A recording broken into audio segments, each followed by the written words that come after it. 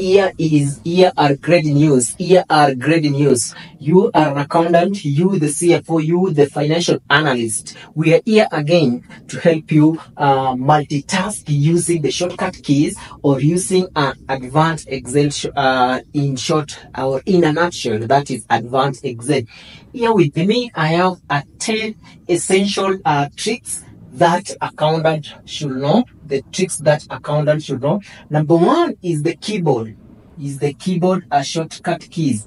Are you that accountant or the cfo who normally use the mouse? Leave mouse leave mouse to this uh, junior staffs so you must understand the shortcut keys. A good shortcut keys here which you can uh, get it very fast is alt and plus H. So if you try to click hard, hard plus H, you will see what will happen.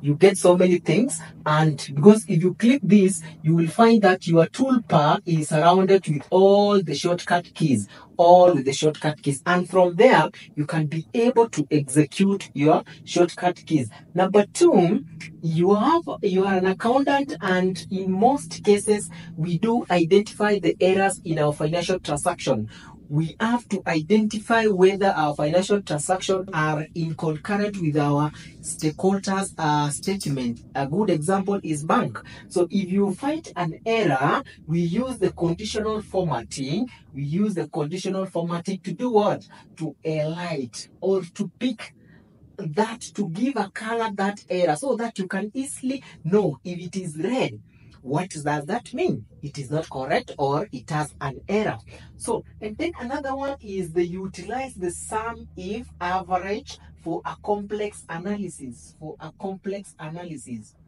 then we ask ourselves which role do you hold are you that kind of a person who need to give out a report on a daily basis, a weekly basis, monthly basis, and yearly basis? Which kind of a software do you use for analysis? Even you have a thousand softwares for analysis, Excel is the, at the top. So if you need to master why, how do I how do I need to know how to use the average, average if, the sum if, and more a function in Excel which is used for what? The complex analysis. Another one is the goal seek function. The goal seek function. Ask yourself, do you know really where there is a, uh, the goal seek function? You must be an accountant who is a creative who if you close your eyes you can be you can't know. Goal seek function is at the uh, is it right or at the left side of the of the excel function right?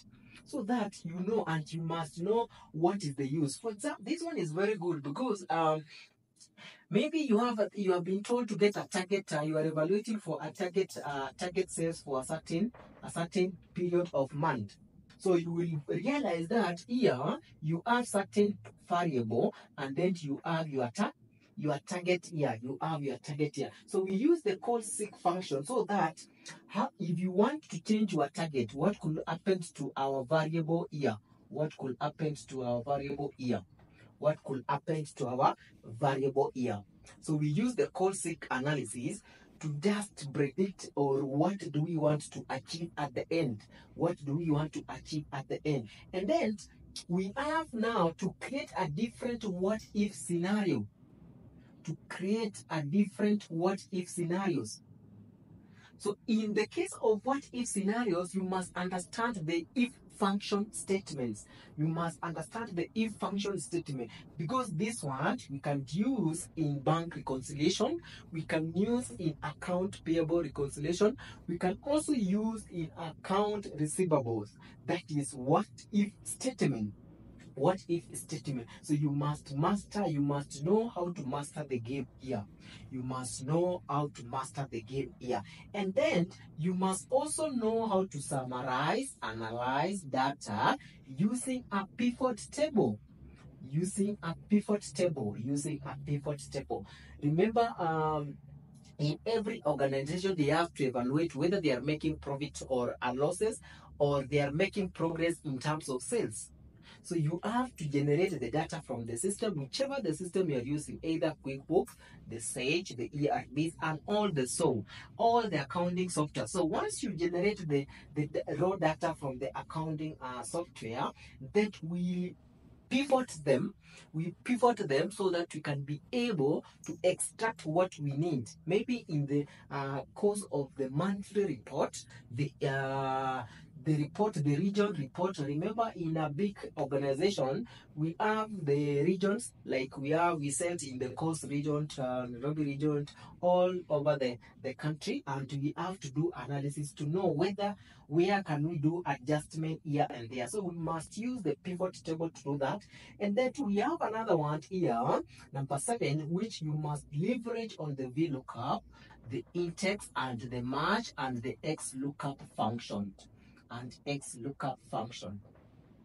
You can't call yourself an accountant waiting for a senior accountant position, a promotion position, if you don't know these things. If you don't know this thing, that is the VLOOKUP, the index, the merge, and the XLOOKUP.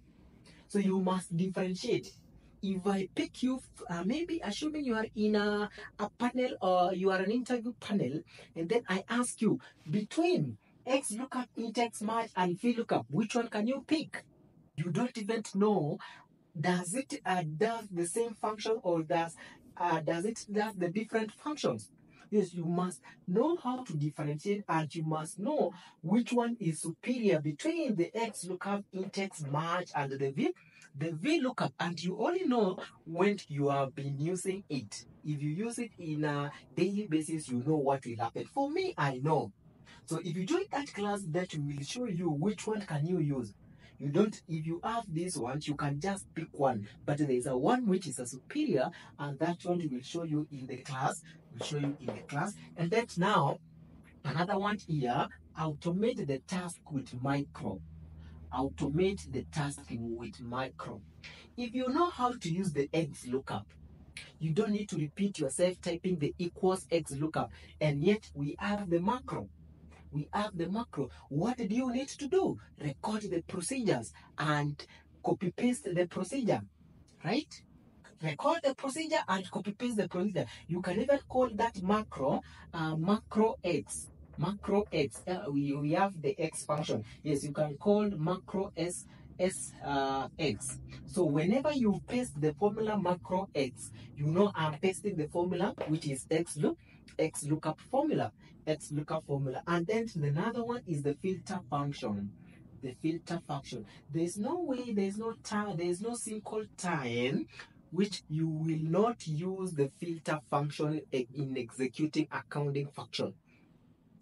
So if you are in a role where you are not using filter function from morning to evening, then you are not in an account uh, position or you are not in the uh, finance uh, office. You are not doing the finance office. Maybe you are doing the, the marketing. You are calling the client using phone call.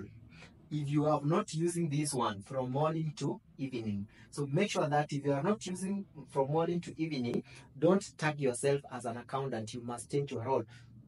And then we must now, another one is the Power Query. The Power Query is we use to clean up the data. Remember, uh, once we extract the data from our the accounting softwares, they are not clean or they are not what we want. Remember, you will you will find that the dates are mixed with other things. A good example here. Maybe you are reconciling the bank, uh, the M-Pesa statement, the M-Pesa statement. So you realize that M-Pesa statement, if you look at the date of the M-Pesa statement, it is combined with the time. It is combined with the time. So we use some of the Power Query to just different or to extract the time in a separate column and we extract the date in a, a different column different column so that we can be able to what? To do our analysis with a clean data with a clean data. So this is what you need to do. This is what you need to know. And this is what you need to master. So we have a master class which uh, will teach you on practical thing uh, which will cover this and the other ones which you have not covered here. So it is not limited to this one only. It is not limited to this one only. So make sure that uh, you reach us on. Uh, you can either send an email to Gilsam consult, Gilsam consult at gmail at gmail uh, dot com or visit our website or visit our website and get all these uh, videos that is Gilsam uh, CPA cpacenter.com. So you can enroll there or you can give us a call. You can uh, just reach us. We will guide you on what to do next. Thank you.